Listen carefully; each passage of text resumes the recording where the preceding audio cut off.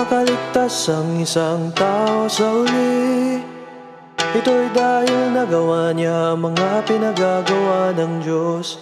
Ngunit kung di siya makakaligtas sa huli Ito'y dahil sumusuway sila at di mapapalugod Nais ng Diyos. Di pwedeng ipasa ang masasamang gawa niya. Katuwiran ng isang bata sa kanyang mga magulang At ang kasamaan o katuwiran ng mga magulang Ay di maililipat sa kanilang mga anak. May hantungang nararapat sa bawat tao. Nalalaman yan batay sa kanilang kakanyahan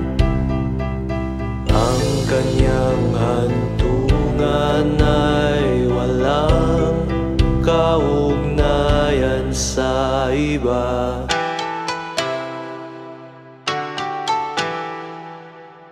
Bahala sila sa sarili nilang mga kasalanan o pagpapala.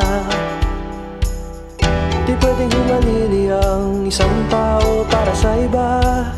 Di mapapasan ng isang tao ang mga kasalanan ng iba. Bukod pa Para sa ibang tao, sigurado yan.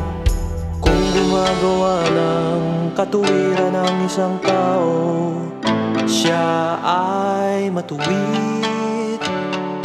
At masama ang isang tao Kung masama ang ginagawa niya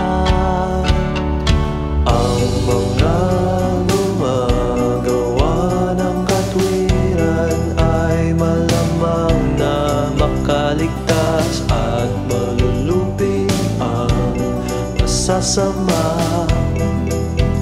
Ah,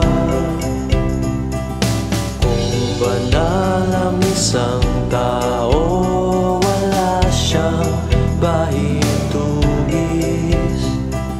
Kung marumi ang isang tao Wala siyang banal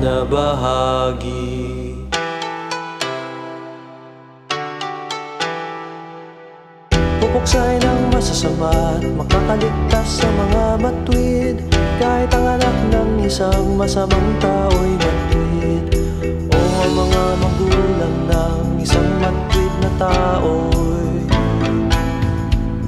masama. Walang anumang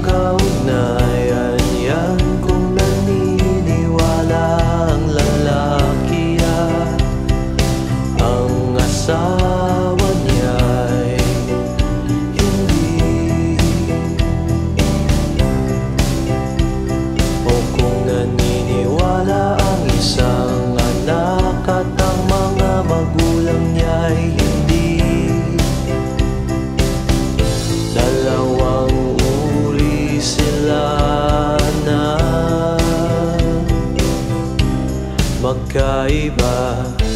Kaya bago mamahinga ang isang tao? May mga kamag-anak siya sa paligid. Ngunit pag namahinga na siya Wala na siyang kamag-anak Na masasabi. Kung ang isang tao'y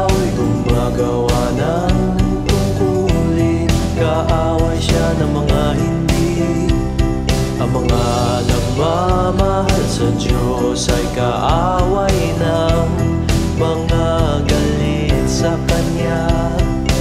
At ang mga nakapasok sa kamay nga ay hindi katungma ng mga pupok sa iyo